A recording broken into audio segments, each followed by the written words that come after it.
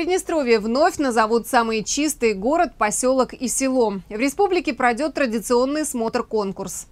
Количество номинаций в этом году останется прежним. Победителей выявят среди городов, сел и поселков. Отборочный этап организуют на местах до 30 июня. Документы о финалистах направят в адрес оргкомитета в срок до 10 июля, после чего начнет свою работу экспертная комиссия. Она оценит работу по благоустройству, проведенную в населенных пунктах, претендующих на победу в своих номинациях. Напомним, что в прошлом году лучшим поселком стал Первомайск. Самых чистых сел было два – Малоешта и Незавертайловка, а главный приз приз за самый зеленый населенный пункт завоевал наш город Бендеры.